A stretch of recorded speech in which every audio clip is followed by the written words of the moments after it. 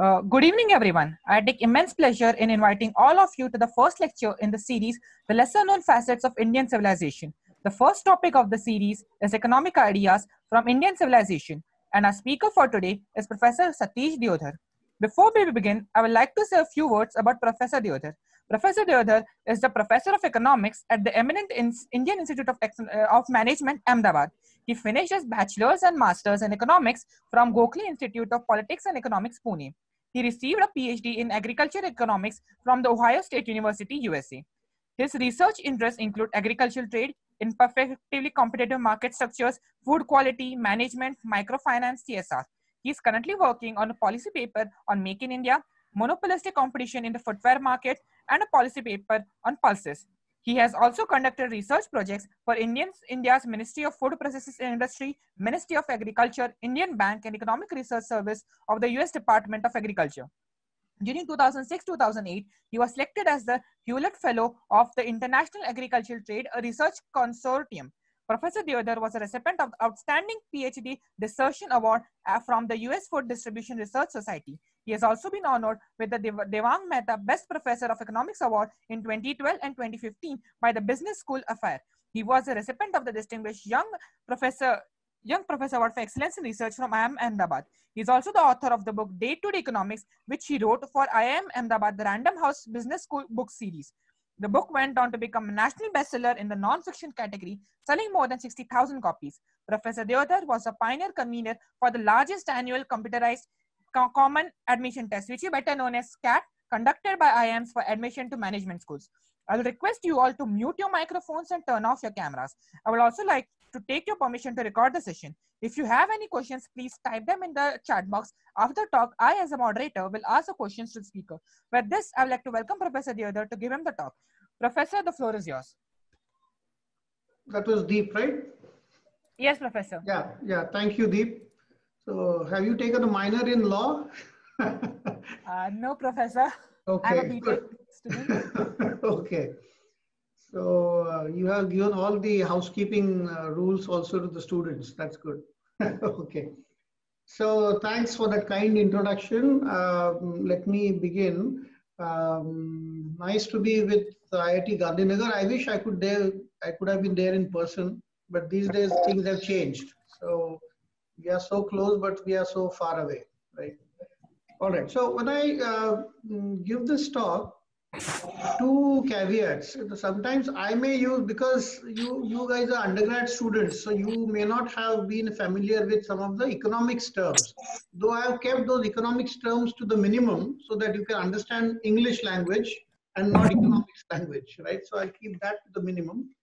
And second, I have tried to avoid saying anything on Kautilya because many of you by now would have heard of Kautilya and at the railway station or at the airports, these there are so many books, management and Kautilya, economics and Kautilya, and you know, what, what have you. So uh, I'm not going to talk about Kautilya itself, himself, but I'll talk about prior to Kautilya, what were the proto-economic ideas that were coming out from the Indian um, continent? Now, that is what I'm going to talk about. Why did I get into this um, subject? Uh, hold on, let me, why, so what did I get into this subject? You know, I'll just give you a quick synopsis of what I'm going to talk about in the next, I guess, 40 minutes or 45 minutes and then we'll have question answer. Basically, what motivated me to this study uh, or uh, you know look at this issue, uh, and what is the crucible of these ideas. So I'll give you a brief uh, background on that. Then what are the dimensions of welfare that economics talks about? What is state and economic policies? Then prices, interest rates, and taxes. Reference to labor and land. And then at the end, I'll talk about what are the few takeaways of these issues which were talked about in the Indian subcontinent in ancient times. Right? So that is how I would uh, summarize my uh, today's talk. So let's go at the motivation. Uh, you know, uh, I'm sure because you are engineering students, you might not have had uh, come across these books, but there are two important books on history of economic thought. One is by Eric Roll and the other one is by Schumpeter. And I, as an undergraduate student, just like you are undergrad students today, I was an undergrad student some 35, uh, 40, 35 years ago. and I had the course on economic history. And there were references to Old Testaments, New Testaments, Greco-Roman history, mercantilists, physiocrats. These are different stages in the evolution of economic science in the last uh, 200 years. Uh, well, and going back to Greeks, it goes back to millennia. However, there was nothing on the Indian thought or Indian thinkers. And one wonders as to why that is so, right? In fact, why I got into this was that uh, in 2016, there was a book by one American economist called name is Skousen. And I'll just quote him from his book. He says, before Adam Smith, 6,000 years of recorded history had passed without a seminal work on the subject that dominated every waking hour of practically every human being. Now, this was too broad a statement, too um, uh, big statement to say that before Adam Smith, nothing was written. And Adam Smith, basically, some of you might know that in 1776, he wrote the book Wealth of Nations. And that's considered as the beginning of the modern, so to say, modern economics. And before that, nothing existed. That is what this author was saying. And then that, that really got me started. And which I also thought as an undergrad that how come there is nothing? And that curiosity led me to look at these issues. And look, we are a country of continental proportions, right? With a history of more than 5,000 years, to say the least. It can't be true that nobody thought about economic ideas there must have been some some uh, mm, uh, you know thinking some treatises that must have been written so that was the motivation with which uh, i began to look at these issues. First thing i did i did some background check. I said let's look at the current indian uh, economist who must have talked about these issues right? And lo and behold there was a pejorative colonial and post-colonial worldview about our past. And naturally, because Britishers had colonized us, the zeitgeist, the essential thinking that was kind of superimposed on us was that we were no good. You know, Raj Krishna, one of the famous economists in the early part of the Indian independence, you know, first three, four decades, uh, he was a socialist and he talked about Hindu rate of growth.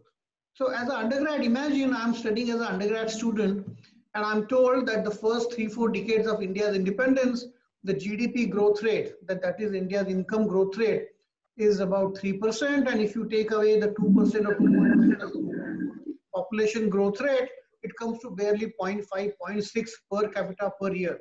That was too low. And Raj Krishna called it as the Hindu rate of growth. And I wondered why he is calling it a Hindu rate of growth. You know, why this adjective Hindu attached to it? Probably still for outsiders, India means Hindus. Maybe that is how I thought about it, right? Because when you say, you know, when you use religious terms, you know, we would like to use them in a positive context, right? Let's say somebody has been brought up well in a house, in a, in a family, and there's a way of saying, no, know, he has, he was brought up in Christian values. That means good values, right? So the term Christian is being used in a positive uh, way. Similarly, I said, why here the Hindu rate of growth, the, the term Hindu is used in a negative sense, right? I mean, it need not have been used. Or maybe there is something wrong with the Hindu, right? And then there was another economist called Deepak Lal. Uh, you know, he called this low growth rate of India as the Hindu equilibrium, as if something was wrong with India, right, or Hindu. So one uh, corollary was that word, that means Indian attitude was probably otherworldly, right? Uh, you know, was Indian attitude otherworldly and therefore we did not progress faster? You know, that is the uh, you know question that starts coming in our mind because we are always comparing ourselves with others, right? So therefore, uh, if I use this uh, I want to get rid of this. Now I'm not able to move forward. So how should I get out of this? Hold on. How do I get out of this cursor? I, was, I thought I'll not use this. Okay, yeah. So therefore, um, it's by the time I grew up, I realized that Raj Krishna's uh, term, the Hindu rate of growth, was really a fig leaf for the low socialist GDP growth rate because India had adopted the Soviet model of planning. Everything was dictated by the state, mostly, right? I mean, very few things were left. All Bokaro steel plant, big steel plants, big dam constructions, uh, Air India, you name it, all big ticket items were taken over by the government. Most of the uh, private sector was forced to go through licensing. And you must have heard the term license Raj. That means government decided to issue licenses to companies and they would not operate freely in the market. And the once, the moment you give licenses, the, the moment license is given, let's say ambassador car or a Fiat car of old times, right? Once license is given, that company becomes a monopoly. And therefore, for the monopolist, he makes a big profit. There is no room, uh, they don't want to improve quality. Therefore, the ambassador car year after year, decades after decade was same dabba that was being produced. There was no competition. So that is what, and therefore our, this is just example I'm giving, and therefore we had a very low growth rate. It was actually the socialist model that we followed that was giving us the low growth rate. Right?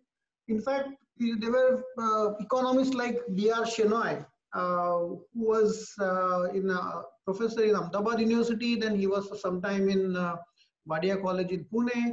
And he was one of the first Indians to publish in a famous journal, Quarterly Journal of Economics, a very uh, celebrated journal in economics. He was one of the first Indians to publish there, and he opposed the socialist policies.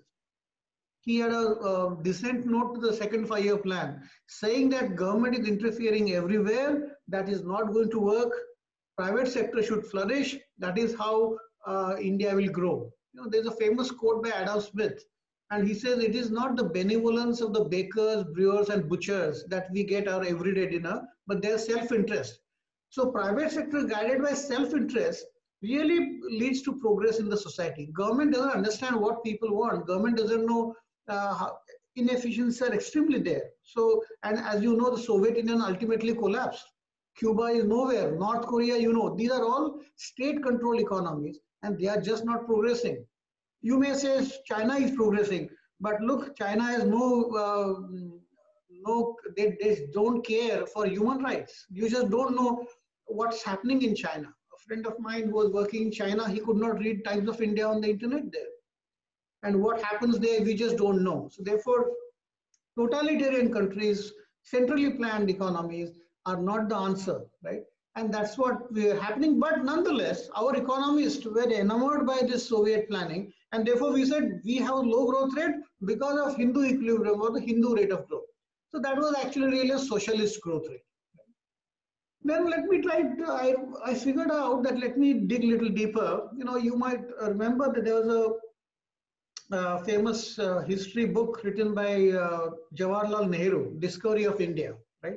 So prior to writing Discovery of India, Discovery of India was written in 1944, around 1944 by Jawaharlal Nehru when he was in the jail.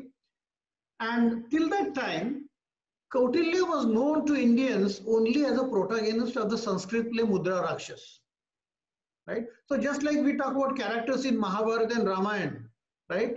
Or any other fictional story, Kautilya was a fictional character from a Sanskrit play, not a historical figure right?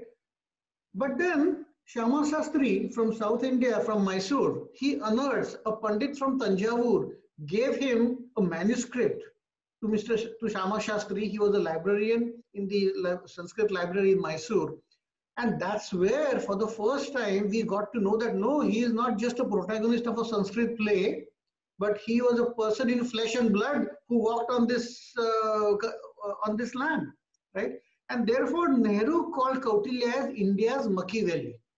So who was Machiavelli? Machiavelli was, uh, was an advisor to the Italian king in about in 1600s, 1600 around that time, right?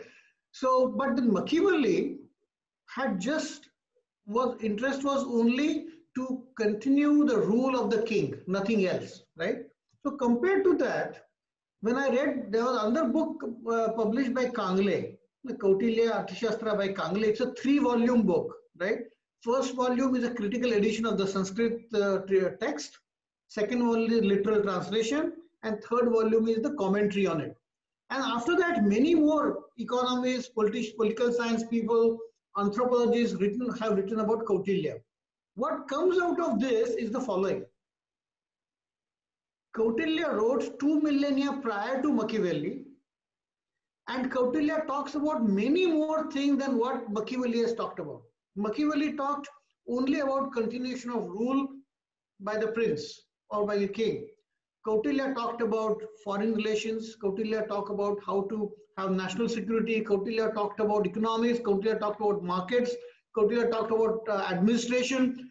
So his treatise was much, much bigger than what Machiavelli was writing about.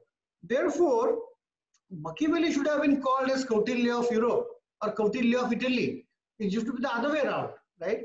But I think because we were colonized by the British for so long, and earlier we had so many, uh, you know, invasions from the foreign lands, we ourselves were not uh, proud enough to say that actually it's the other way around, right?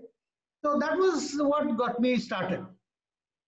Now, uh, Arthashastra of Kautilya the treatise that he wrote around 230 BC uh, or before Common Era, right, BCE, is a Smriti literature, not a Shruti literature. So, what's the distinction between the two? Shruti literature is what has been revealed to our sages.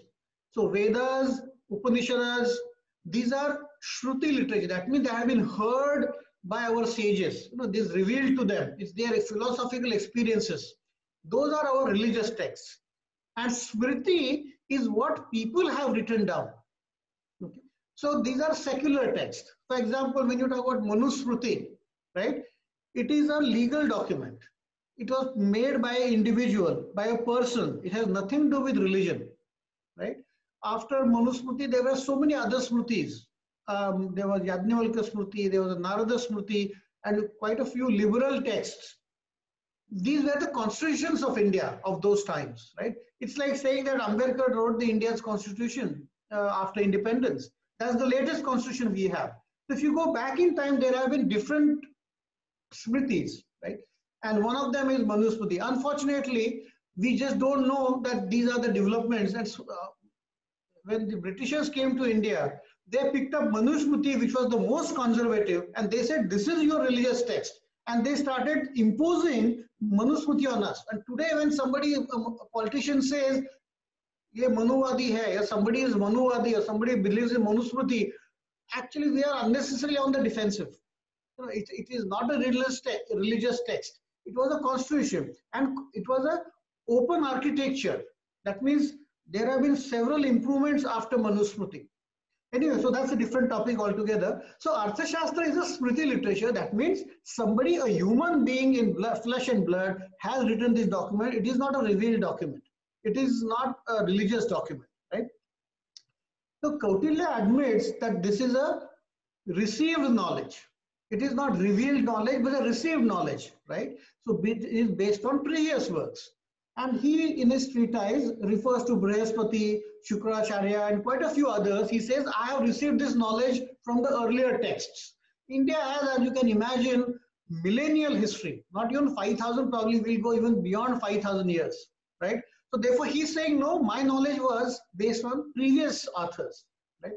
Unfortunately, their works are lost or at least not rediscovered here. For example, Brihaspati's Shastra or Shukracharya's original Shukra Niti the original documents are missing. Either they have been destroyed because of time, or they might be lying, accumulating dust in the European universities, libraries. But at this time, they are not available. So I thought, what can we do? You know, if Kautilya is saying that this knowledge is based on my on the previous works of others, and if those are not available, what are the proxy texts I can look at so therefore, I started for scouting references in Vedas, Upanishads, Ramayana, Mahabharata, and other secular texts. I said that must be, these are quite old, right? And therefore, Brihaspati Shastra, Shukracharya's uh, Shukraniti must have come from somewhere these, uh, some of, some of these uh, texts. And therefore, I can get something from here. And that was with which I started looking for. So what did I look for? I scouted for what were the objectives in life right? In economics, we say utility maximization, right? So what were the objectives uh, that were set by our, uh, our uh, ancient people? What was the concept of state and economic policies? Did they talk about public goods and market facilitation? Did they have a view on prices, interest rates, and taxes? How was their view on labor and land issues? So these are the issues I looked for in Vedas, Upanishads, Ramayana, Mahabharata, and few other texts. Now let me come to the modern economics. In modern economics, you know, some of you, you know, might take. Do you have uh, either Parth or Deep can tell me? Uh, do you take an optional course in economics? Generally, engineering students take one course in economics in their four years. So, uh, a second year, uh, a, sec- a first year course is a compulsory uh, introduction to economics. Oh, very good. So, sorry. Yes. Yeah. I think he was repeating the same thing. Yeah, okay, good. So, you know, then you can relate a little bit. If you already had those courses, uh, you can relate a little bit. In economics, the standard microeconomics objective is that an individual has self-interest and he or she maximizes utility. So it is a unidimensional consideration that I want to maximize utility or satisfaction. If you talk about firms, firm must be maximizing profit. That is the standard assumption with which all theories are developed in economics, right? So if you look at, since you are from engineering background, I thought I must use x-axis and y-axis so that you can relate better, right? So let's suppose you have consumption on the horizontal axis and you have utility or satisfaction on the vertical axis. Typical economics argument is as you consume more, there is law of diminishing marginal utility, right? As you start consuming more and more, total utility increases but the marginal utility decreases. It's like talking about uh, speed, acceleration, and velocity, or speed and velocity. There's a direction to it. So rate of change, right? So that's what is the marginal utility. The slope is decreasing. So time will come when your total utility is maximum. Beyond that, if you keep consuming, it will go down. Why? I'm sure on Friday evenings you go, you order pizzas, and then you you hawk pizza like there is no tomorrow. But if you go beyond you know first slice, second slice, third slice, you know you get you get additional utility from each additional uh, slice. And maybe the second slice is not as important as first one. And the tenth, fourth slice, maybe fifth slice, I don't know how many slices you eat. But the last slice, slice gives you practically low, very low utility, right? But total, little bit additional utility you get. And probably somebody who really hawks too much might puke also it could be uh, pizza or it could be beer. But I don't want to take example of, example of beer because you're students and I am a professor. So let's not talk about beer. And you puke there more often. So anyway, so that's the standard assumption with which economics talks about, right? And this is uh true for a representative consumer. Maximization of satisfaction, whether it's whatever goods that are there, doesn't matter, right? Now, so basically utility is a function of consumption. Um, but in ancient Indian tradition, welfare is not unidimensional, it is multidimensional. Welfare is guided by three fourfold facets of life, right? The first fourfold facet is purusharthas. Second fourfold uh, uh, facet is ashramas. And the third fourfold uh, aspect is called as varnas, right?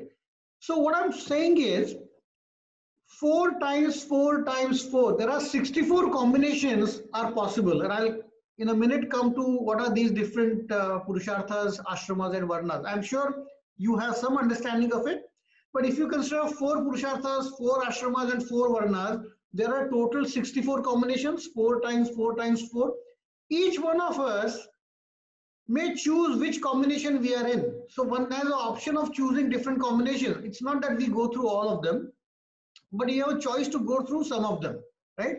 And so therefore welfare, our personal welfare is much more holistic concept in Indian tradition because there are four objectives in life, there are four stages of life, and there are four professions in your life. So your welfare is a sum total of the combinations of these different uh, professions, uh, life stages, and objectives, right? So there is nothing like a representative consumer. What do I mean by this? Let's look at this three-dimensional figure. So let's say you have Purusharthas here, that is life objectives, right? I'm sure many of you would, uh, you know, recall what, what these uh, four life objectives are. Anybody? you can just press, press your space bar and talk if somebody wants to talk about it. You has some does somebody have an understanding of what these Purushartha's life objectives are? Uh, hello, sir. Yeah. I think dharma, artha, kama, and moksha. Absolutely right. So you have dharma, artha, kama, and moksha. These are the four life objectives. So it's not just utility maximization.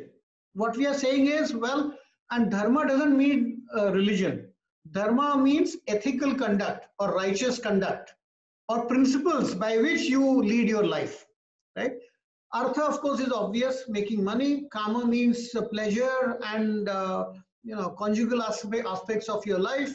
It includes arts and uh, crafts also. Uh, and of course, moksha is basically um, you know the spiritual uh, uh, objective, right? So we have four objectives in life, not just one. It is not unidimensional, four dimension. Now, while we have these four objectives in mind, these are also guided by four ashramas, right? Again, I'm sure you know the four ashramas. So once again, somebody can just quickly tell me the four ashramas. Press spacebar and speak. If I'm not mistaken, it's uh, Brahmacharya, Grihastha Ashram, Vanaprastha, and then Sannyas. Absolutely, right? So you are on the dot. Brahmacharya, Grihastha, Vanaprastha Ashram, and Sannyas, right? So while you have these four life objectives in mind, the time is taking you through different stages of life, right? And therefore your objective is the relative importance of different objectives will also change. As a brahmachari at this time, all you guys students, right? You don't care for tomorrow. You live for the present. When I when you order pizza, you know, forget about tomorrow. I am going to hog that pizza to no end. I want to maximize my uh, you know satisfaction of eating that pizza. But the same pizza when your parents order, no, they don't hog like anything because their lifestyle has changed. Their objectives are they have so many other things on mind, right? A typical grihastha, when you move from brahmacharya to grihastha, tell me, I'm telling you, probably you are in a much better position today. But then you always seek pastures which are greener on the other side. As a grihastha, I can tell you, I want to look at, I have two kids, two a son and a daughter. I'm looking at their education also. And I'm also looking at my parents who are 80 plus. No, I think I get sandwiched from both the sides. My objectives have changed. You know i'm i have much more restrained approach towards my objectives right? As you move to one vanaprastha basically you retire and then you live off your savings. And that then you at a time comes when you take sannyas meaning you really want to renounce. You know i have seen my kids i have seen my grandkids. There is nothing more to see in my life. So i just you know look at spirituality so therefore stages of life are not in your hand. You are just progress somebody is pro- taking you through different stages. So therefore your objectives also change in your life. While these two things are happening you also have varnas right? You have four varnas brahmin kshatriya vaishya and shudra right? So you fall into one or the other categories of your professions whatever you do in life right uh, no, brahmin is basically uh, same thing for knowledge seeker. Kshatriya is for security personnel whether it's you are in the military whether you're in the police or you could you could be a computer scientist in cyber security. But that's kshatriya for you right? Or politicians they are kshatriya right? So therefore there are four bins that have been created. One is knowledge seeker one is into security mode third is business persons right? All kinds of business. And fourth are shudras who are service providers right? Now i'll come to that little later. These are not birth based in indian civilization if you go back millennia these varnas or life occupations were not at all birth based somehow uh, with foreign aggressions with colonial times and at the end of my presentation i'll show you my book please feel free to uh, buy the book. Uh, i have given elaborate description of how um, uh, occupation based uh, varna degenerated into birth uh, birth based varna. But that will i'll talk about it a little later right? So therefore these are the basically i'm talking about 64 combinations of purusharthas varnas and ashramas. So somebody can be like a point a here. So this point a could be uh, vijay mallya Vijay Mallya is a bachelor. He is a he is a businessman, and I think he's only interested in kama and dharma, artha and kama, right? You can look at somebody else, a, a point like B. No, this person could be Dr. Sivan from who is uh, chairman of ISRO. And if you see Mr. Uh, Dr. Uh, Sivan, such a simple man, right? Uh, if you see him on the streets, you will not even recognize him and think that he is chairman of India's Space Research Organization, right? He is a householder, right? So he must be, look. his objectives might be three, dharma, artha, kama, at least three objectives he must be going through. Um, he's a householder, right? And um, in modern context, he is a Brahmin. He is basically a knowledge seeker, right? You can have another combination, a point like C, right? Maybe this could be the Prime Minister of India. He is a bachelor, but he is looking at per, in, in, his personal capacity. I don't think he is interested in kama and moksha, uh, kama and even moksha or artha. Maybe he wants to follow only dharma to for the country, right?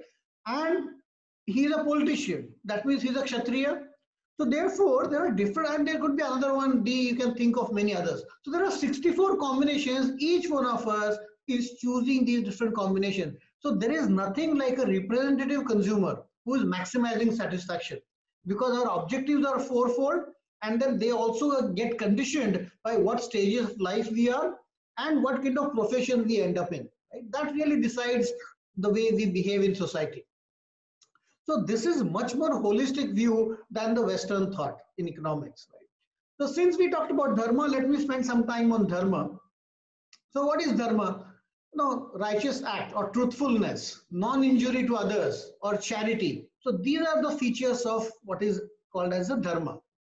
Now in modern economics, latest economics developments, right? They talk about behavioral economics. They are saying life objectives can be much more than just utility maximization if you look at Amartya Sen, you know, he, he wrote what is called as rational, he calls what is called as rational fools. He says individuals are also looking at actions out of commitment to do something, not just utility maximization or not just satisfaction maximization. Right? Uh, to give examples, you know, in the recent past, the government of India said please give up your uh, LPG subsidy, right? Because subsidy is not the right way to, uh, you know, help the poor. When you give subsidy for the gas cylinder, everybody gets the subsidy, whether you are rich or poor. So initially, to in, instead of just removing the subsidy, what government first said is, talk to the, you know, they, you must have seen advertisements on TV, right? Government of India was saying, why don't you give up your subsidy? You can afford the natural gas, the LPG at your regular price. Why are you trying to get the subsidy? Please give up your subsidy. So he ran that, he, this ad was ran for a year and then now everybody's subsidy is taken away. But then how do you help the poor if you take out the subsidy? Now you know there is something called a direct cash transfer. You have Aadhaar card, that means your iris scan is taken, your fingerprints are taken. Once government identifies people who are below poverty line, right, they will only they will get the subsidy. So whenever the LPG cylinder comes to your doorstep, you just have to put your thumb and then the system understands who is poor, who is not poor. And therefore the poor will also pay the regular price of the LPG, but 300 rupees of subsidy will get transferred to his account. Now nobody else can eat that subsidy. So there is a directed subsidy going only to the poor. But to begin with, to begin this policy, government, what is called as a nudging behavior. They nudge the rich people or the middle class or higher middle class, why don't you give up your subsidy? That is dharmic, that is appealing to your dharma or the righteous conduct, right? That is appeal to uh, your ethical conduct. So that is what is coming back in economics now, and that is what you know we have been talking about dharma, right? And if you look at our uh, texts, there is an advice given by Rama to Bharata. When Rama went on exile, Bharata went with him up to certain extent, right up to the end of uh, whatever that Ayodhya, and then he returned. When he was to return, he was to run the country on behalf of Rama. So therefore, Rama advises Bharata that have a, as a Kshatriya, that means as a protector of land, as a protector of the individuals in your society, please follow good principles in life as a ruler, right? So that's a dharma he had to follow as a Kshatriya. Many of you may not know, we already know Kumbhakarna as the one who sleeps all the time and he had to be woken up by Ravana so that he can fight Ram, right? But when he was woken up and he was told that he has to fight uh, Rama and Lakshmana, it is the Kumbhakarna in Ramayana. Kumbhakarna tells Ravana, look, you are not on the righteous side.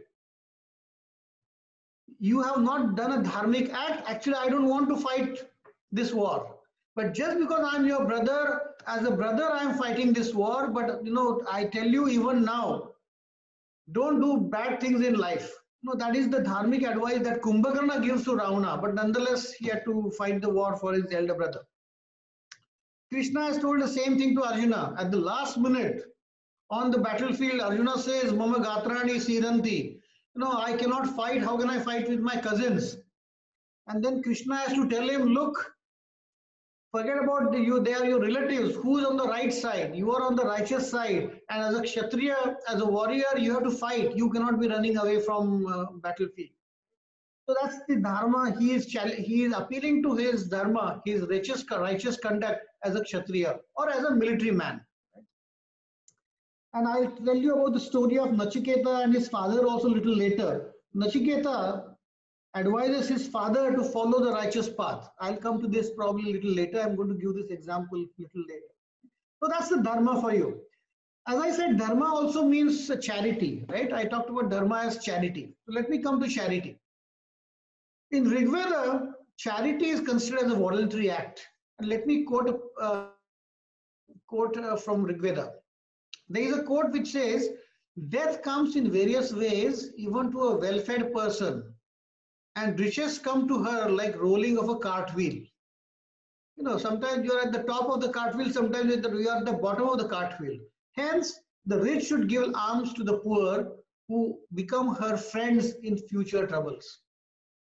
So this is a voluntary act and very practical uh, advice given in Rigveda that you must help others, right? So there is an empathy. Gita also talks about three kinds of charity one without expectations is called sattvic charity, right?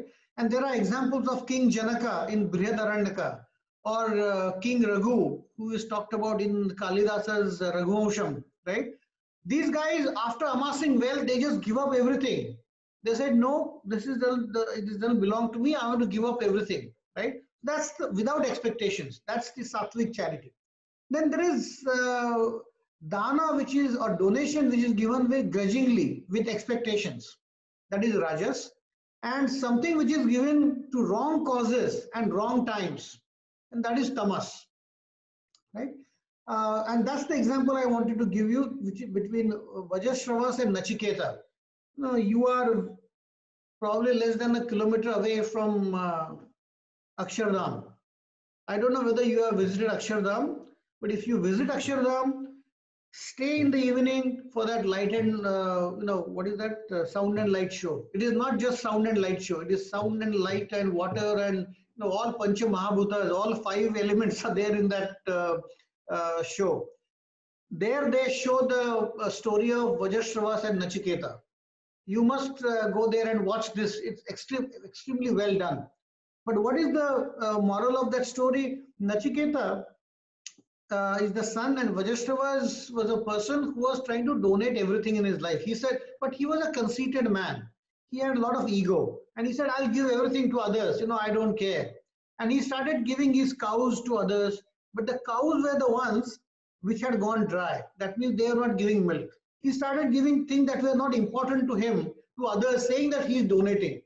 And Nachiketa noticed this. And so Nachiketa tells his father that these are useless things. Why are you giving to others? So the father says, no, no, who said these are useless things? No, they are very important to me. So therefore, tongue in cheek, Nachiketa asks his father, who are you giving me to? I'm also important to you, right? So who are you giving me to? And then Vajasrava gets mad. You know, he says, this uh, young child, he's asking me such questions.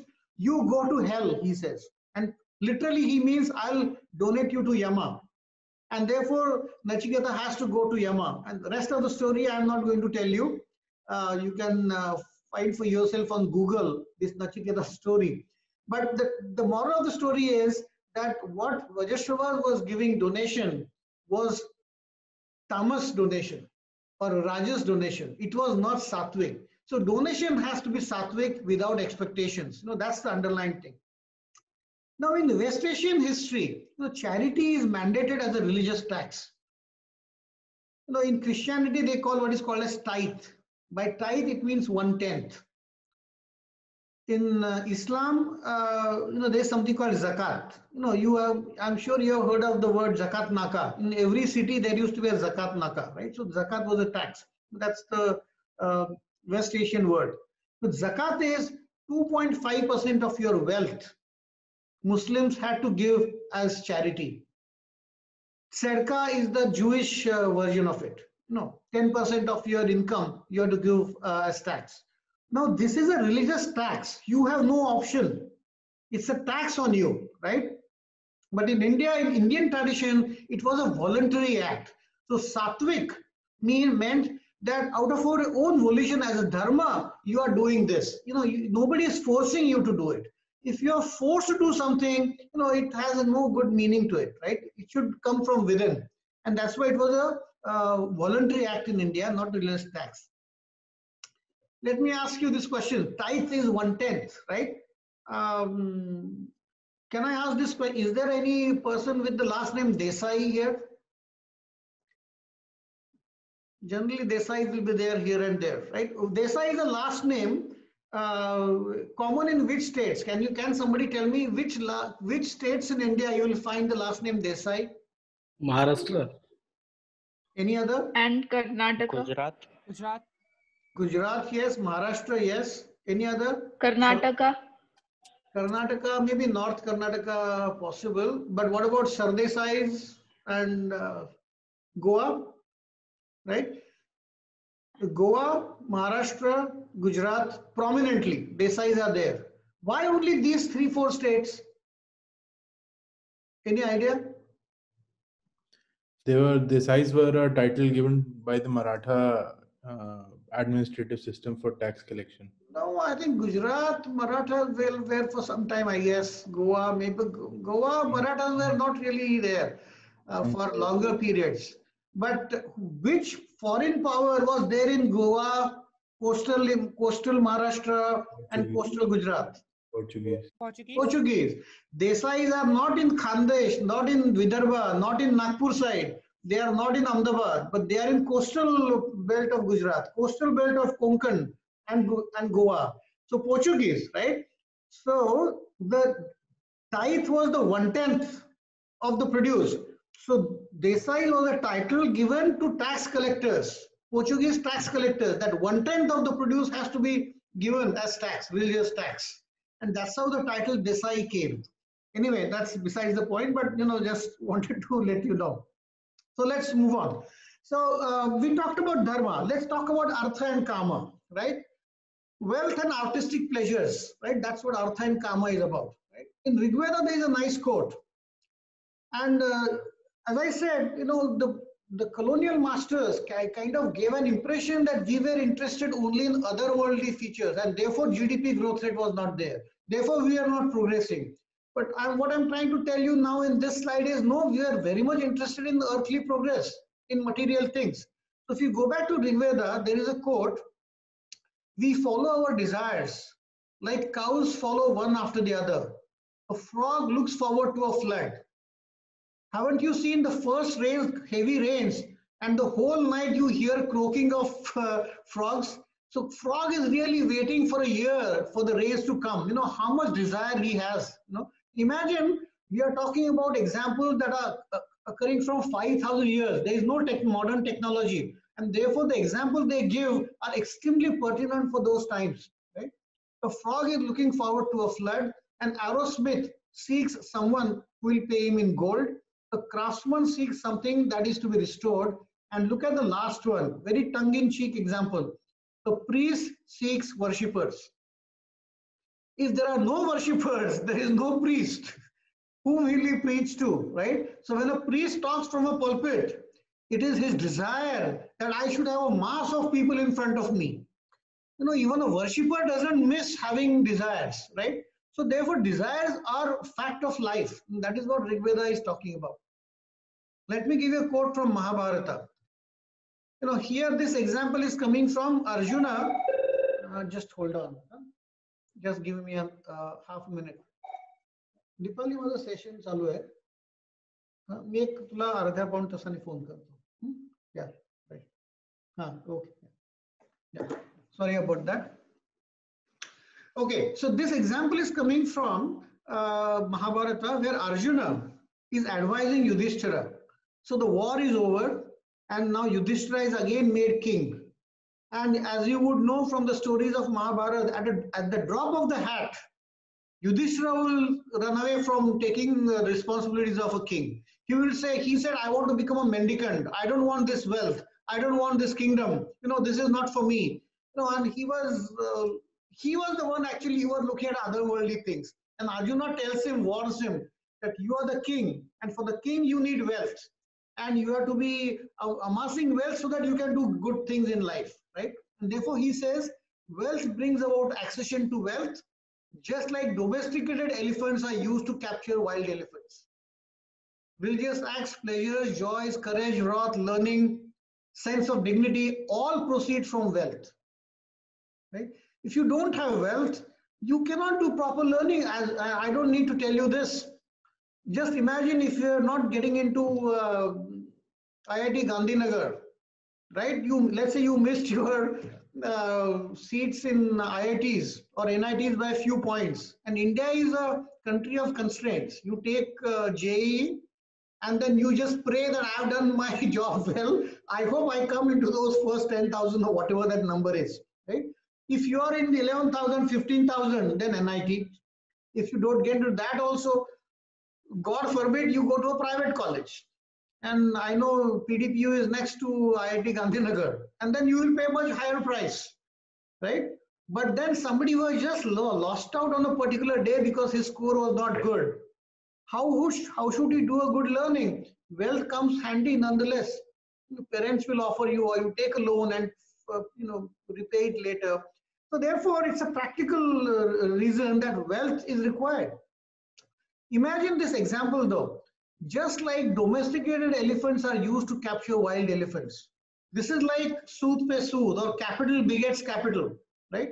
Once a businessman borrows capital, he invests it in something, makes profits, and reinvests his profits, makes bigger capital, and again produces more, again makes more profits, right? So that's the idea Arjuna wanted to convey, uh, to, convey to uh, Yudhishthira that if you accumulate wealth, you're likely to do good things for your population also? And look at this example. Though, you know, just like you know, in olden times, you know, uh, I think in Assam and all, they have this kheda method of uh, capturing elephants, right? A domesticated elephant is used to capture the wild elephant this concept of capital begetting capital you know, is beautifully drawn by Arjuna when he tells Yudhishthira. So therefore, what do our otherworldly interests? We are very much interested in this, uh, in the, um, interest of this world as well. This is what is brought out by this example. And then there are many other examples. There's a Sri Sukta, there's a dice hymn, there's a Chamakam prayer in Rigveda, which talks about doing good things in life right here in this world not uh, you know not talking about heaven and by the way concept of heaven you know in many religious traditions there's a concept of heaven right but if you know that the world is uh, earth is round every now and then your resultant vector is changing where is this heaven you're moving all the time 360 degrees and there is universe on, on all sides where is this heaven if you look at the indian religious traditions no, there is nothing like a physical heaven. And, you know, but that's for you to, uh, you know, explore for yourself in your spare time, right? All right. So material well-being and earning money through right means was very much there in our tradition. And then there are references to artistic expressions of life, right? Kama doesn't just doesn't mean uh, it means uh, you know art, uh, you know various arts and uh, uh, other dan dances, uh, many other things come into being, right? So there are two, two treatises. One is called Nata Sutras, which is called aphorisms for actors. And actors means it is music, dance, and drama, everything. There's a famous quote by Kalidasa, Natyam bhinna ruchaihi janasya bahudha api ekam samaradhanam. He says, uh, uh, drama is one such entertain form of entertainment where there is there is acting, there is music, and there is dance, and it everybody who is interested in one or the other will get entertained by drama. Therefore? And I'm talking about there are two branches, Vedic branches of performing arts, right? They are called Natasutras. Afterwards, you might remember, and this is prior to Kautilya, and after Kautilya, in about 200 AD, Natya Shastra was written by Bharata Muni it's a quite a big compendium on all arts and crafts and uh, you know, artistic expressions, including uh, drama, right? So we were very much interested in these things. To give an extreme view of this, you might have heard of um, a philosopher called Charvak. Uh, he represented he represented what is called as the Lokayat philosophy. So what was Lokayat philosophy? It was a hedonistic philosophy. And there's again famous Sanskrit quote by Charvak. This goes 600 before Common Era, BCE. And uh, Charvak is saying, Yavat jivet sukham jivet, runam kritva ghritam pibet, bhasmi bhutasya dehasya punaragamanam kuta. So what he's saying is, of course, he was an extremist. What he was saying is, as long as you live, live merrily. You may have to beg, borrow, or steal, but drink ghee. At that time, good things in life for food was ghee, right? Dairy products, right? So he said, drink ghee because once consigned to flames, that means once you are dead, who is going to return to enjoy these things? And therefore, as long as you are here on this planet, live merrily. This is what Charvak is saying. Now, this philosophy is an extreme form, but this philosophy was very much tolerated. At the same time, we had Jain Tirthankars. At the same time, we had Buddhist philosophers and we had a Vedic tradition also simultaneously going on. So that means there was a democracy in philosophical thinking, in, in religious thinking in India. Everybody had his or her place. By the way, Charvak was not assassinated. Buddha was not assassinated. Jain Tirthankars were not assassinated. They may have differences of opinion, but they all existed simultaneously. And I must make a mention here, since your club has Socrates in it, you know the history how Socrates died? Anybody from the Socratic club? He was poisoned.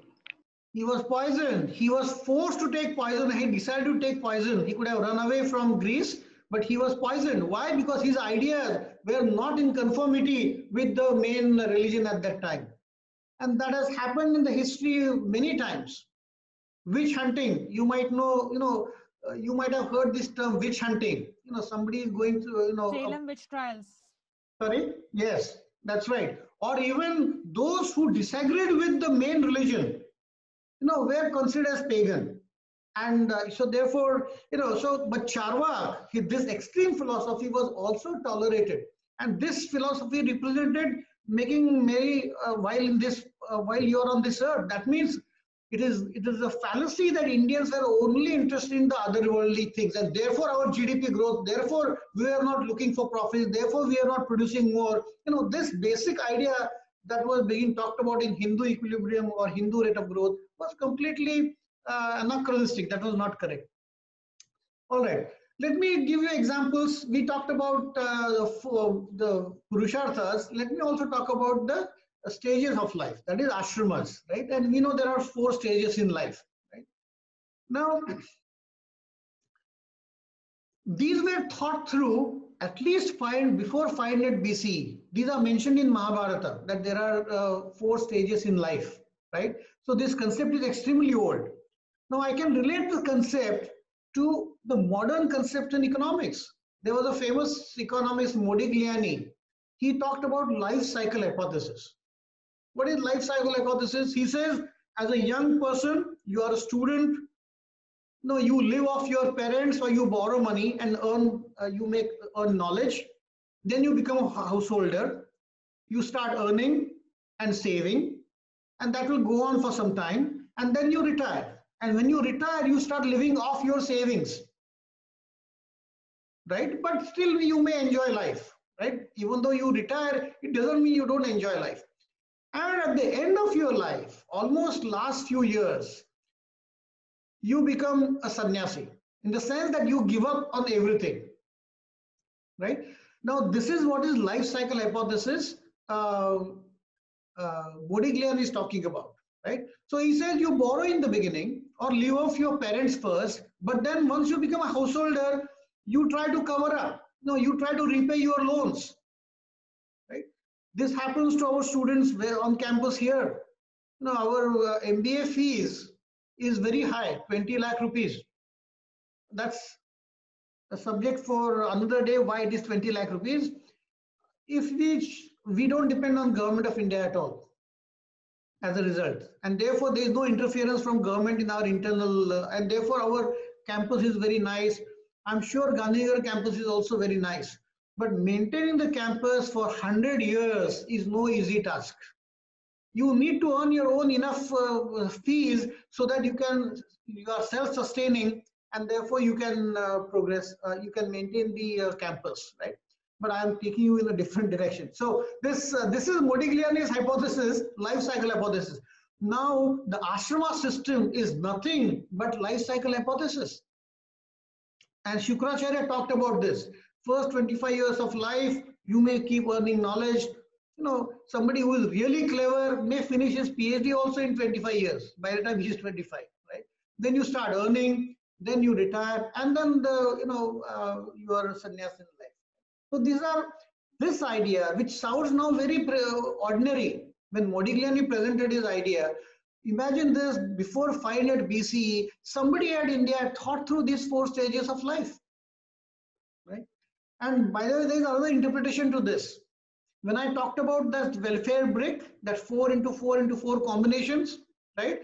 The life stages need not necessarily be chronological life stages, but it could be out of your own volition, right? I'm sure once in a while um, you uh, hear news in the newspapers. There's a photo of a person who was a businessman, but he became a Jain monk. Or there might be a, a news, a photo of a young guy or a girl, right? She, he or she becomes a Jain monk because of out of own volition. And whether it's Adi Shankaracharya or Jnaneshwara in Maharashtra, or I'm sure there are so many other examples in different uh, parts of India people voluntarily chose a sannyas in life. That means you jumped all those stages, right? And some people will just enjoy life to the fullest or remain a householder till the very end, but may not want to retire.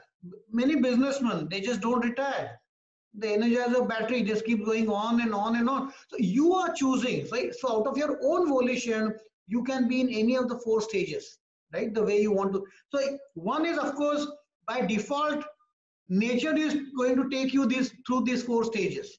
Or you can choose which stage you want to remain in also, right? So therefore, it is this concept which was very much there. The, I, the innate idea was very much there in the Indian tradition. Now it has been told in modern version by Modigliani. Let me come to Varna system, right? This is division of labor, right? Modern concept, what Adam Smith talked about division of labor, right? Indian tradition talks about division of labor based on what is called as guna karma. Whether you talked about, this is talked about in Gita, this is talked about in what is called as Vajrasuchi Upanishad. Vajrasuchi Upanishad is a philosophical statement of what these four varnas are. And believe me, there is no question of birth-based varna. This is a completely mis complete misnomer which has somehow Please read my book. I'll tell you the name of the book at the end of my presentation. Uh, you know, how we got into this birth-based uh, varna. It is not varna then. It is uh, called uh, jati, right? It's not varna. So varna is purely based on guna karma. And uh, let me give you examples. In Mahabharata, there is a discussion between uh, uh, Rishi Bhrigu and Rishi um, Bharadwaj. There are two Bharadwaj and Bhrigu, there are two rishis, and they are talking to each other. And one is asking the other, how can there be four varnas? How can you have distinction between people? And then Bharadwaj is saying, look, all the four orders mingle together and could possess lust, wrath, fear, cupidity, grief, anxiety, hunger, and toil. So this is common to all four varnas. He also says to all four varnas, they can, we cannot distinguish them from one another because all emit sweat, urine, feces, phlegm, bile, and blood. So both on biological features and your mental features, you just cannot differentiate one from the other. What distinguishes one from the other is the following. Created equal by, Brahm, by Brahman, people have, in consequence of their acts, become distributed into four different orders. So it is a guna and karma which is deciding what varna you are in, not your birth, right? Ambedkar also talked about this. If you read the mm, collected works of Ambedkar, at one place he says, many of you might have heard the word Upanayana. Some call this as Janeu ceremony or Maunji ceremony. You know, uh, it was what is called as the commencement ceremony. In olden times, students would go to the ashrama, Rishi's ashrama for 12 years. In those 12 long years, the Rishi would know who is good at what. You know, who is a you know kacha ardhan pot and who is a pakka ardhan pot. You know, he will get to know, he or she will get to know in 12 years. And then commencement ceremony or the Upanayan ceremony was done. And accordingly, according to their learning, the Rishi would send them in different varnas. Now you should continue your studies further or you may just become a janitor or you may just become a potter or whatever, right? This was based on the 12 years of experience that Rishi had understood what the students are all about. Right? So Varna was based on their learning. What happened? Again, if you want, if you get time, do look at my book. Over time, what happened? Now, this is the religious uh, injunction I'm talking about, right? Based on Guna Karma. Over time, I talked about the Smritis, that is Manusmriti and others. Manusmriti, what he suggested the people was that why do you wait for the Upanayana to be done after 12 years of learning? Start doing Upanayana before you send your kids to the ashrama. So now a Brahman's son became Brahman because Upanayana was done right before. A Kshatriya's son became Kshatriya because Upanayana was done before the person went to uh, uh, Rishi's ashrama and so on and so forth. Right? So to some extent, the Varna got frozen into Jati, became uh, birth based. Right? Of course, later uh, Smritis were much more liberal. In fact, there is a commentary by uh, a lady, Lakshmi Devi. Uh, she had a very liberal attitude and she wrote a comment, a digest on these Smritis. And she was much more liberal in terms of varnas and uh, gender also. But unfortunately, when the British came to India, they picked up Manusmriti and they told us, this is your religious text. First of all, it was not a religious text. It was a secular constitutional text. And if there were some drawbacks in that constitutional text, it was an open architecture that, that was being changed over time. And therefore, Britishers could have also uh, used the latest one and changed it. But they said this is what, and why they used our Manusmriti, there's a nice history to it if we get time, what is the time? It's 6.15 now. Uh, Parth, I may, and Deep, I may take some 10 more minutes, right? Should be okay, right? Yes, Professor. We are extremely enjoying the session, actually.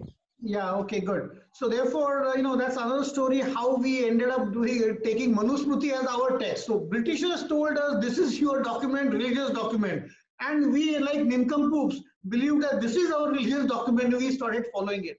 You can read that in my book also. But let me go ahead there.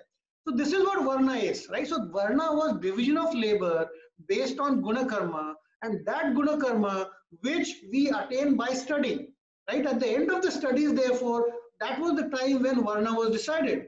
And practically all, all said and done, isn't it to happening today? You guys are uh, learning engineering, right? Some will become a civil engineer to, to discretize even further. Somebody will become a civil engineer. Somebody will become an electronics engineer. Somebody, despite all these learnings, somebody will just do, if you are, uh, you know, into business, you may continue with your family business and nothing to with uh, engineering. These days, many of the students, you know, my father was a civil engineer and he was in the construction line, right? But these days, do you have to become an engineer to be in the builders lobby? You could be just a simple BCom. But if you have the wherewithal to get all factors of production together, you can become a builder also today, right? So today, there, I think that distinction doesn't exist. All right. Let me go back to Adam Smith. In 1776, when Adam Smith wrote his Wealth of Nations, you know, there's a very famous quote, and which, in my understanding, was well understood by Indians long ago. The quote is this The difference between a street porter and a philosopher is not the cause of doing of labor, but rather a consequence of doing of labor. You know, it's a very important statement. Not because we want some people just to be janitors, not because we want some people just to be porters that they are porters, not because we want some people to be philosophers and therefore they are philosophers. It is not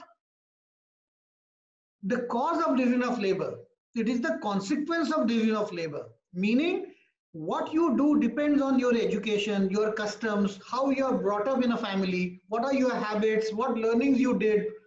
That by the end of your education, really now you decide what varna you will have, you will fit into, right? And that is what Guna Karma is talking about. That is what Ambedkar was talking about oh, Upanayana, the way it was done much earlier, right? So therefore, a Varna system is division of labor not based on birth at all. It was based on your guna karma and your education, your upbringing. That's really is deciding what you will be. So you need not be apologetic. If somebody tells you, uh, Manusmriti tells you it is by birth, please, I don't own the Manusmriti and Manusmriti, Manu was, Manusmriti was not a religious text. And after that, there were much more liberal texts which we did not follow. And prior to Manusmriti, it was much more liberal also. So, you know, let's not get fixated over this guy Manu, right? Or Manusmriti. All right, let me move forward. Let me talk about concepts of state and economic policies as understood by our forefathers in the ancient times. Um, there is a treatise called Aitareya Brahmana this Aitareya Brahmana, basically, you know, if you look at the our religious texts, there are four Vedas, and then there are Samhitas, which explain the hymns, and there are Upanishads, which are also again explanations of what is being talked about. So there are different layers of uh, our religious text, and there are also uh, Brahmanas also, which are a set of uh, supplementary texts of Vedas, right? Now, in one of the Aitareya, one of the Brahmanas, which is called Aitareya Brahmana, there is a description of forms of states. And it talks about Rajyam, which is state, Maharajyam, which is great state, Swarajyam, which is independent state, Samrajyam, which is a universal sovereign state, and there are a few others, including what is called as Vairajyam, meaning kingless republic. Right now, uh, these republics, Ambedkar said, were not dictate in principle not dictatorial states uh, states. It were not repressive states but these were states where kings were a representative of the people. So people Ratni, uh, ambedkar calls them ratnis.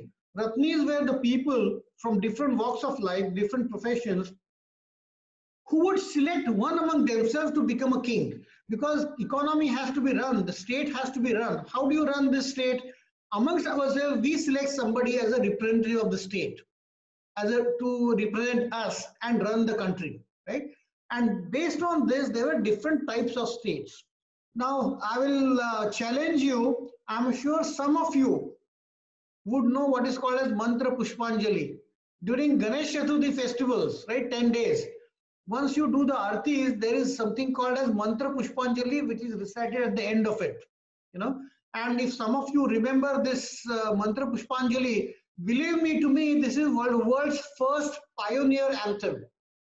Just like in our Indian national anthem, you talked about Punjab, Sindh, Gujarat, Maratha, Dravida, Utkala, and we go on, on and on. You know, in this Mantra Pushpanjali, next time, let's say one of you is going to recite this uh, next August, September, you know, Rajam, Rajam, Maharajam, Swarajam, Vairajam, Parameshtam, Rajam. No, it goes on and on. This is nothing but talking about different kinds of state or Ganarajyas that existed then. And then this was, this mantra Pushpanjali was used when a new king was anointed. And during Ganesh Chaturthi, in some sense, we are for 10 days, we are anointing Ganesha as the king. And therefore that mantra Pushpanjali is sung, right? So the whole concept was of a king who is representative of the people. Why I'm uh, saying this? Once we know these are the forms of state, what was the responsibility of the state? There are so many instances in Mahabharata when uh, Yudhishthira was anointed as king. You know, Narada drops by, you know, just to bless the king, the new king. But while blessing the king, Narada asks the Yudhishthira, have you constructed water tanks? Are you going to construct water tanks for people and lakes at periodic, distance, periodic distances in your region? Have you given loans to the farmer at concessional rates? He asked the question about internal security to protect citizens and the industries. He asked questions whether you have taken care of the blind, the dumb, and the lame. Now, these are all the uh, these are all um, the roles that the government has to play. This is what 5,000 years ago we hear through the Narada asking Yudhishthira. There is also one more thing that he asks. He asks question regarding external security and mentions that war should be the last priority. You engage in war only if nothing else works because it consumes exchequer which can be used for other productive public goods. Aren't we doing the same thing today? We have a problem with China. You know, if, if they kill 20 of our soldiers, we kill 60 of their soldiers. But things stopped there. We still are trying to negotiate with China. War is always there, but it will dump down our exchequer and we cannot use that money for priority purposes. Now, this is what Narada was telling Yudhishthira 5,000 years ago. So our culture was much broader. Our understanding of state and its responsibilities was much broader long ago. You can compare them to the modern state policies. There's something called, if you take economics, you know, further courses in economics and public finance and whatnot, you know, there's a concept of what is called as revenue deficit. In our government of India's budget or state government's budget, there's something called fiscal deficit and there's something called revenue deficit. A fiscal deficit is deficit which you incur to create assets in society. That means government may tax people, right? But those taxes are not sufficient enough. And therefore government borrows. The government may borrow from World Bank, government may borrow from IMF, government may borrow from foreign countries, government may borrow from Saudi Arabia. You know, the king these days is good relations with India. He may give you some loans, or government may borrow from our own people we may, you know, when I joined IIM Ahmedabad, you know, whatever little savings I started having, I invested in Narmada, uh, Nigam bonds. That means I was giving loan to the government to construct the Narmada Dam.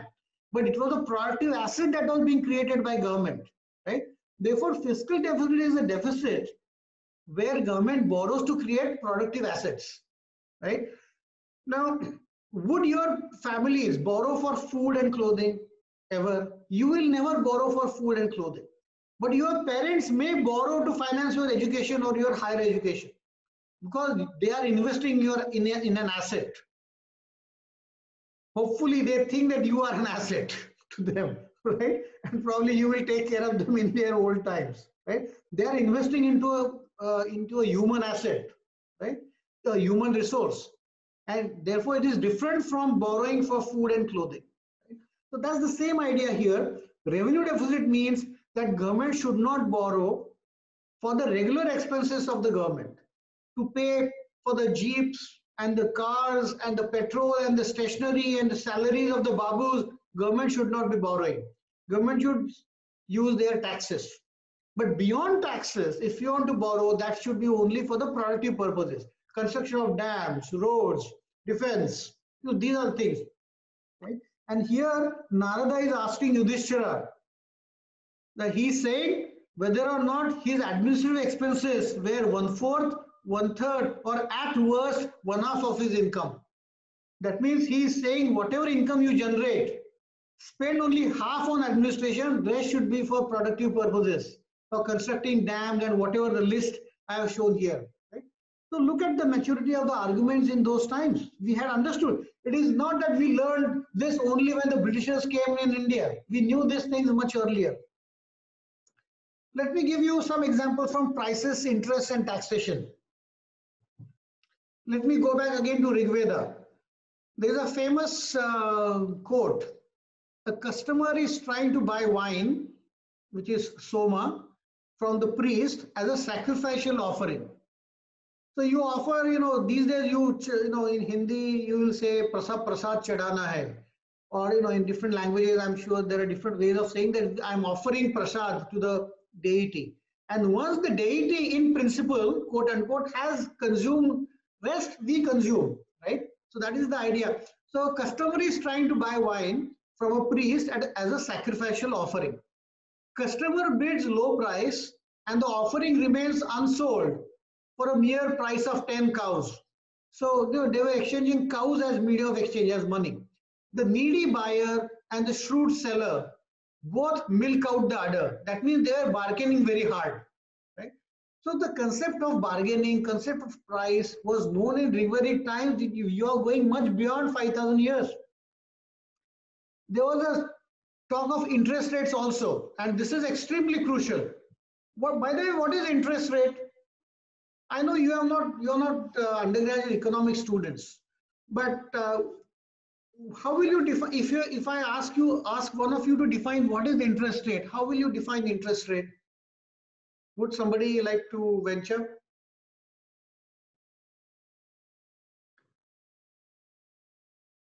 Anybody? What can what, what do you know of what is interest rate? How would you put it in English?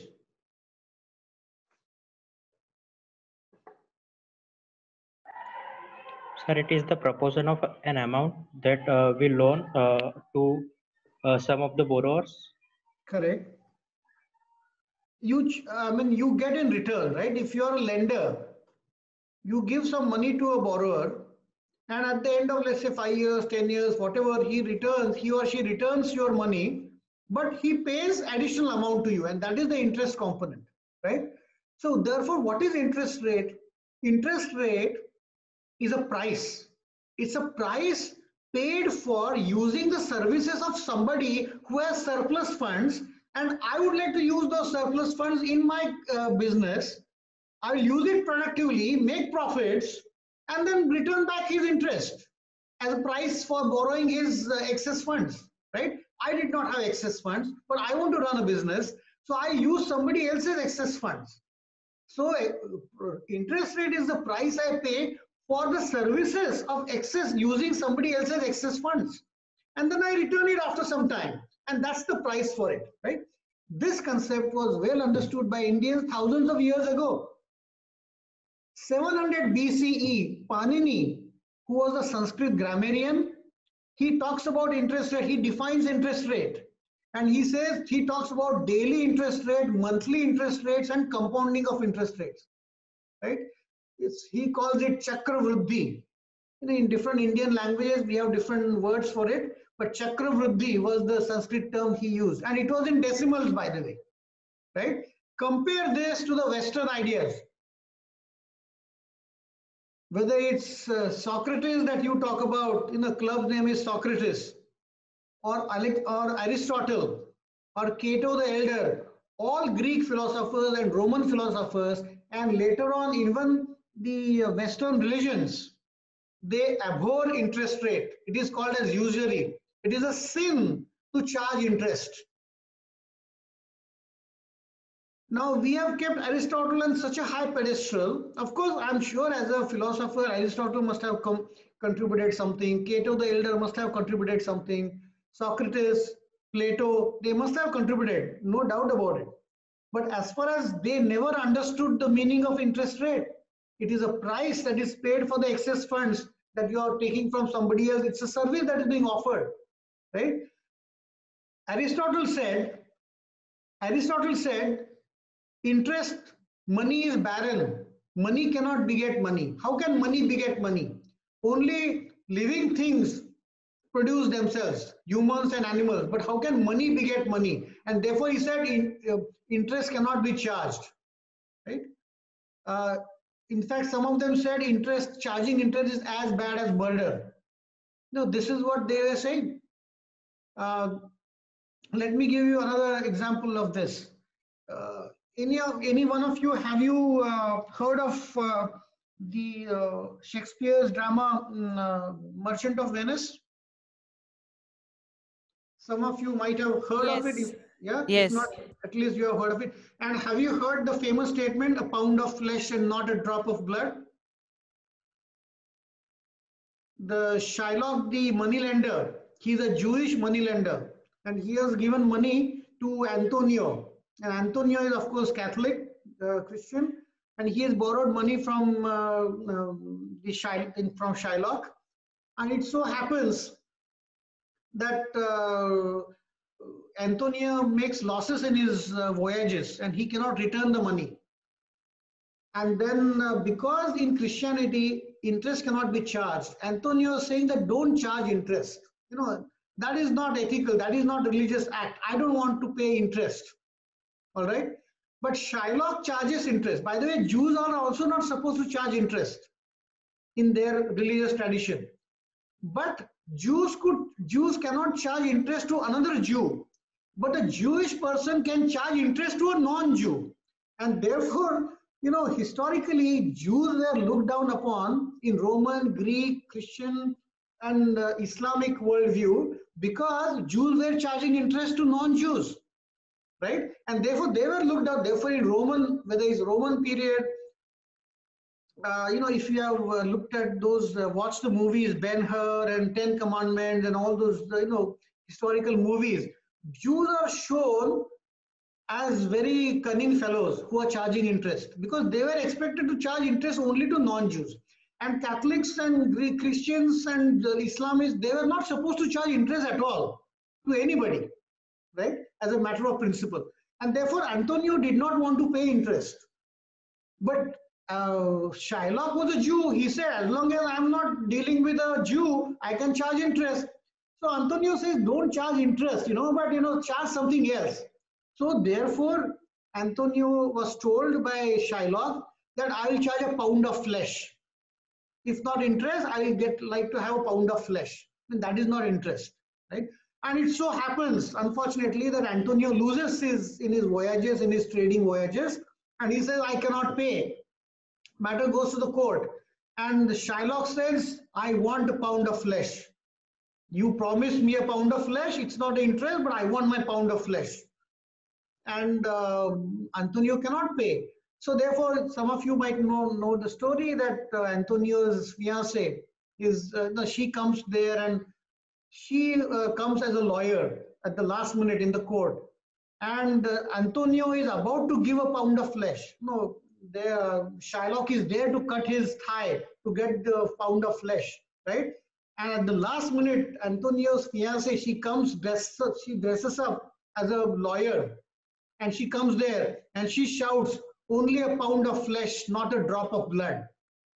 So she says that you take pound of flesh if you want, but if you shed a drop of blood, that is not correct. You should not take any. Basically, she prevents him from taking the pound of flesh, right? So in that, but long and short of it is that in the Western tradition, charging interest was sin.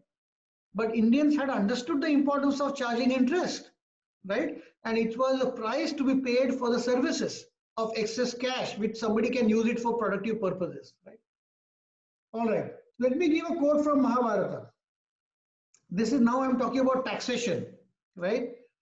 Um, a king should tax like bee sucking honey from the flowering plants.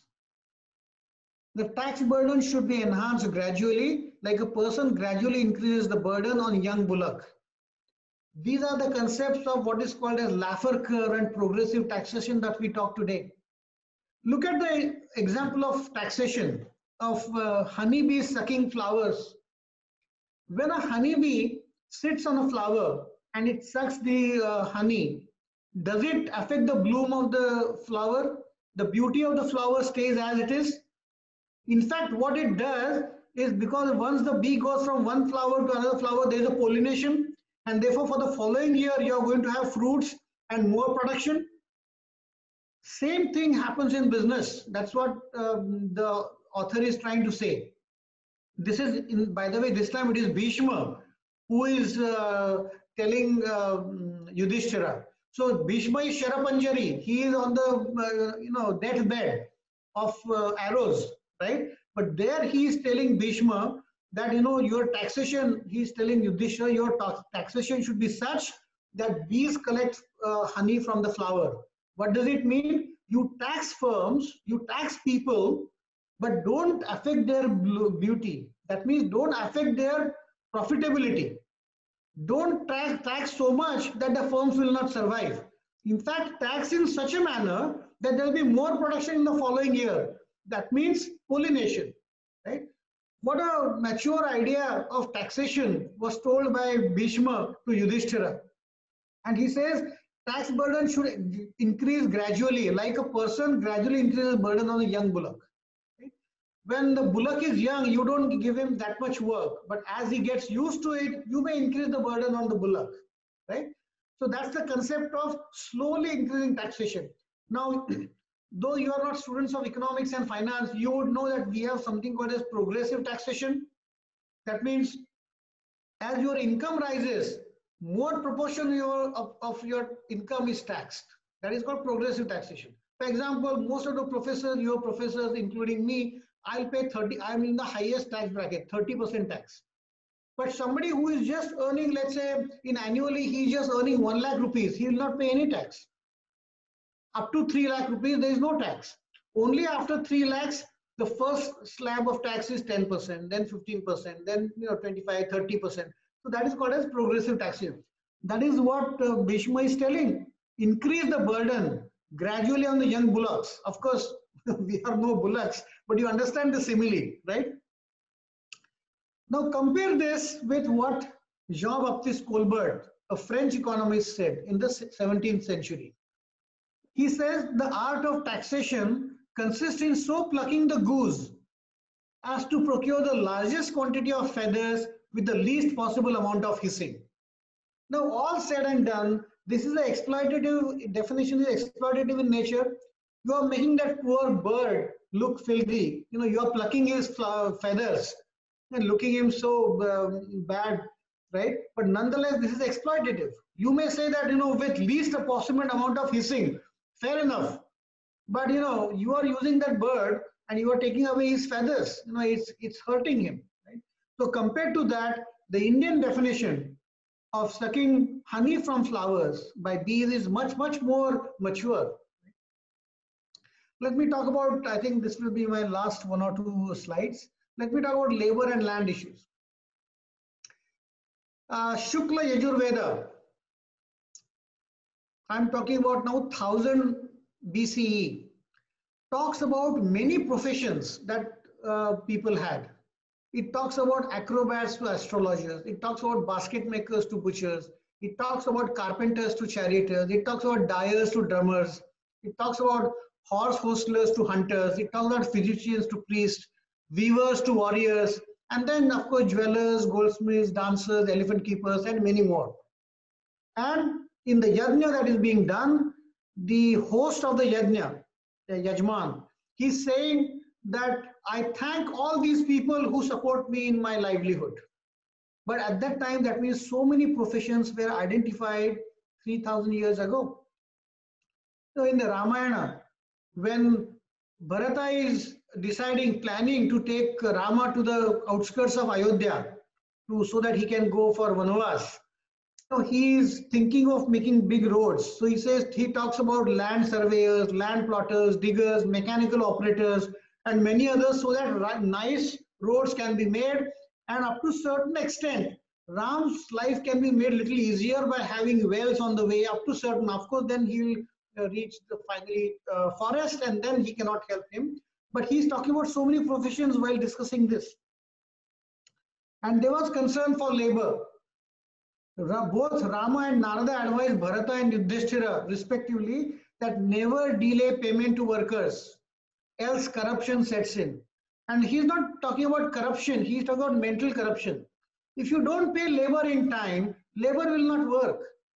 Labor will not be friendly to you, right? Therefore, make payments to your labor regularly, never delay it. That is what Ram and Narada are talking about. Now, these personalities, at least Rama for sure, though the Rama was an avatar, almost you are talking about him like a uh, he is almost a god, right? And in, in human form. But even then, minutest of the details were discussed about ordinary people, right? And that is important. By the way, labor unions were allowed in those times. They were called nigamas, sanghas, or nikayas. And many of the union leaders were called as shreshthas. And their job was to help king forming their state policies or represent king at different forums. What are we talking about? In modern day, we have what is called as FICCI and CII, Federation of Indian Council of Commerce and Industry, or Confederation of Indian Industry. These are the modern day unions, right? Nigmas or Sanghas. And you have their uh, chairman, right? Let me talk about land and property a little bit. The word for earth in Indian languages is Vasudha or Vasundhara. And this is, of course, these are Sanskrit terms. What do they mean? Dhru is the uh, dhatu uh, or verb which means to hold on to, right? So land was not wealth, right? Vasudha or Vasundhara meant something which holds land, which holds property, which creates wealth, right? Or uh, which promotes creation of wealth. So land by itself is not wealth, but land helps create wealth or it holds wealth and therefore it is Vasundhara or Vasudha, right? So land was never considered as wealth. Importantly, kings were not supposed to own land by default. Just because you are a king, it's not that you, you own all the land of the state. There is something called a principle of what is called as eminent domain in the Western world. What is this concept of uh, uh, eminent domain? This eminent domain concept is the following. In the Western religion, the Lord owns everything. Under the sun, over the sun, you, me, bullocks, sheep, goat, uh, you know, the, the uh, grazing yard, uh, grazing land, everything is owned, land, everything is owned by the God. And who is God's representative on the earth? It is the king. And therefore, king owns everything as a representative of the God. And therefore, there was, king had the right of eminent domain.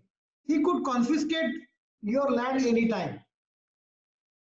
The same eminent domain principle was used by the Britishers in India. When railways were constructed in India, the railways were not constructed because they wanted Indians to go from Chennai to, um, uh, let's say, Chennai to Varanasi for pilgrimage, not from Delhi to Tirupati so that people can go for pilgrimage, not for Indian businessmen to go from one place to another. That's why, that is not the reason why they constructed uh, uh, railways. They wanted raw material from the hinterland of India to go to the Indian ports so that they can take it to England and make uh, processed goods, manufactured goods and sell it to Indians. So therefore they wanted railways. They wanted to confiscate land because you need land for the railways. They used the principle of eminent domain. That means the Queen of England owns everything in India and therefore they could confiscate land for construction purposes. Unfortunately, the same law continued in India after independence. And therefore, when Nehru talked about modern temples of India, you know, Bokaro steel plant or Bhakra Nangal dam, this dam, that dam, when lands were used or procured, they were bought at pittance and villagers, tribals were uh, relocated. And there was a lot of and cry, but unfortunately, at that time, there was no social media. There were not colored TVs. There were not hardly radio had hardly come in, and radio was owned by the government. There were no cell phones where you could see YouTube showing that what is going on, right? As a result, we did not come to know the uh, problems uh, faced by uh, farmers or the tribals when lands were confiscated. What was the principle used by the government? Eminent domain, right? Of course, in Medha Patkar's, you have heard of Medha Patkar. She championed the cause of farmers and tribals whose lands were taken for the construction of Narmada Sarovar, right? To some extent, of course, she was right because government are using the same principle, eminent domain principle. We had adopted that la the law. We changed that law a little bit now, but the is important is issue was compensation that was whether good compensation was given to the tribals and the farmers. Why I'm saying all this?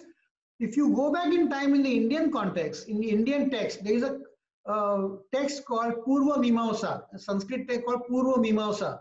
It clearly states that king's power is only to govern. As Ambedkar had said, they are Ratnis who would make somebody king so that we get governed ourselves. So the kingly power was only to govern and king did not own the land that was there in his state. That means there was no eminent domain principle. And because there was no eminent domain principle, concept of private property emerged in India. Right? So therefore it was not at odds with the religious uh, sanctions. In West, what happened? Religion was telling something else. Religion was saying that there is eminent domain principle. But as more liberal thoughts ap appeared in the society, they were going orthogonal to what the religion was saying. Charging interest was orthogonal to what the religion was saying in the West in India, we did not have actually these problems. Right? Okay, so last slide. So what are the takeaways? Why should we study all this? What has to do with our modern world? Why should we, uh, you know, look at these old stories? You know, there's a famous uh, statement by one uh, historian of uh, sci science historian, uh, and he says science without history is like man without memory. I feel so saddened today. You know, my mother is 83 years old. She was a scholar. She was a professor. But because she is 83 today, she is losing her memory. It feels sad to see her just sitting idle. She is such a wonderful person. She has so much knowledge in her head, but she cannot re uh, remember anything. So if you don't remember, you, you don't exist, right? And therefore, in science also, whether social science or science, we should know our history because that tells us what we are. Of course, we want to move forward. It's not that we want to live in past, but we should be rightfully proud of what was there earlier. There are ways to learn from it, right? So that is what is called as Whiggishness. If you think, if you try to thrust completeness in ancient writings, that is called as Whiggishness. So my attempt is not to be Whiggish. I'm not saying that everything was there in our history, but I'm saying they should be rightfully, we should acknowledge what was there in our past and we may learn from it. Schumpeter, one of the modern economists, uh, he's no more. Uh, he says one does profit from visiting the lumber room provided one does not spend too much time there. That's what I'm saying. I'm, I'm not saying that you should spend too much time in the past, right?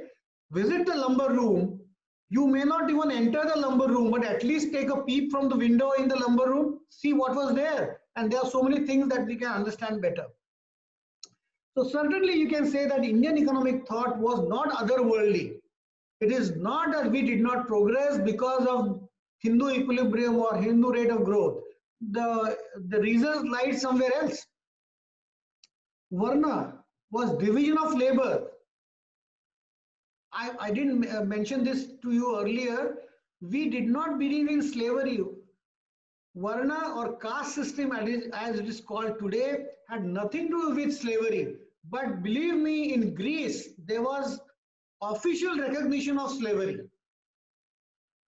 90% of the households in Greece had slaves, and slave population was much larger than the household population. And this slavery was endorsed officially by Aristotle, Pliny, and many other thinkers in the West, in Greek and Roman empires. But we have held them to such a high pedestal. Fair enough. I'm sure they must have contributed to philosophy in one way or the other, but we just don't know their other side. And when we look at our own past, we are only told about your bad deeds. We just don't know what are our positives. So, for example, Varna system is division of labor based on guna karma and your education, customs, and habits, not birth based. Somehow it has degenerated into it, but that's not what it was, right? Charging interest, I already talked about this, right? It's a sin in Western world. If you go by their religious traditions, we never considered as sin. It's we knew there was a practical, it's a price being paid. I think I talked about enough of uh, union state policy. So therefore, now next time you read Kautilya, you may get to read Kautilya somewhere, right? It's there in my book also. So Kautilya's treatise is a culmination of the idea that emerged from the crucible centuries prior to his area, uh, prior to his era. Kautilya's book is not a religious book. It was based on texts which were written earlier some may be religious, but many were not, not religious texts, right? So it's a secular idea that are coming through. Early exposure to these proto-economic ideas to the rest of the world could have hastened probably the development of uh, modern economics. By the way, there is something called uh, in Europe, dark ages. Greeks contributed a little bit to economics, but they believed in slavery. They contributed a little bit to economics, but for them interest charging was not good. In fact, Greeks also did not like profit making. But profit actually is an incentive to produce more. If there is no profit incentive, why would somebody even produce anything? Right? So after Greeks, by the way, Romans did not contribute anything to economic science. And there was almost 1000 to 1500 years without any contribution to economic science. And then you have to come to all the way 1776 when Adam Smith came on board, right? He borrowed the ideas of Greeks after thousand years. So what I'm saying is that an early exposure to the proto-economic ideas that were there in the Indian subcontinent, probably economic science could have developed faster. I think I will uh, stop here. By the way, I'm, I'm professor of economics, not professor of marketing. But nonetheless, I'm in business school. So let me do a little bit of marketing. Do consider adopting my book for your library, for your courses, or your personal reading. Some of you might have come across my book, Day to Day Economics. It has become, as uh, Deep mentioned in the introduction, it has become a na national bestseller in non-fiction category. Believe me, if you read this book, you will like it for the following reasons. I studied in a Marathi medium school. So therefore my English is extremely simple. And therefore the, the economics I write is extremely simple terms. If you pick up economic times daily or the business section in Times of India, many times you are unable to connect. And the writers assume that you know economics. So I have written from the perspective of a layperson who doesn't understand the economic terms. You will understand them much better. Second, I use examples from engineering sciences. I'm sure all of you by now know what is Carnot cycle. Why should I mention Carnot cycle in my book here? I'm trying to say the cost curve that we draw are no different than the Carnot cycle. Now, when you draw a Carnot cycle picture, a diagram for Carnot cycle on X and Y axis, right? It looks something similar to a parallelogram or a rectangular hyperbola or whatever. Boyle's law is a rectangular hyperbola, whatever. Now, that Carnot cycle, do you see in an engine? No, it's just a depiction, a theoretical depiction of what's happening. For a given temperature, there is an inverse relation between uh, what uh, pressure and volume, right? So that's the rectangular hyperbola you have. Similarly, when you draw cost curves in economics, that is not what manager is drawing every day on the blackboard or in his notebook. You are trying to give how firms must be working. Now, I have given such examples. When you talk about demand and supply, I have given example of simultaneous equation system. Now, in our 8, 9, 10 standard, you know, we solve simultaneous equation system 3x plus 5y is equal to something and 9x plus 3y minus 9y is something. You solve those two equations and you come up with some, many times you made mistakes, but you were lucky enough to get the right answer. X is equal to this, Y is equal to this. Why were you, why were we doing this? At least in economics, there's application. Demand curve is downward sloping. You can take a straight line equation. Supply curve is upward sloping. You can take a straight line equation. There are two equations and two unknowns. Price and quantity are the two unknowns. And two equations are the demand curve and the supply curve. You solve the equation and within the system, there's an equilibrium price and quantity you get. And those equilibrium keep changing. So I don't want to talk more about it. But you know, if you take economics, this is how you can relate to. So you will get those things. This is macroeconomics. Then I write microeconomics. I'm sure you had both micro and macro or just one course which included both. If you still think there was something missing, you can look at these books. And forget about knowing more economics. I think if you read these books, you can understand uh, economics given in newspapers much better, right?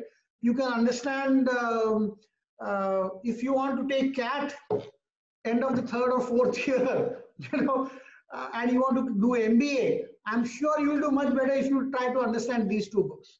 And lastly, the today's topic, Economic Sutra, Ancient Indian Antecedents to Economic Thought. This I just wrote last year. And uh, quite a few economists have, uh, have also appreciated book. Given this talk today, I'm sure you will enjoy reading this in your spare time. If you want to read something which is not necessarily exactly economics, but you know you like history you like to read about bhaskaracharya also mathematician also you like to hear about Varahamihira. some instances of those i've given in this book also. I think uh, thank you very much. I'll stop here. Uh, over to deep and parth. If there are any questions i would be happy to take. Let me know. Thank you. Appreciated with this talk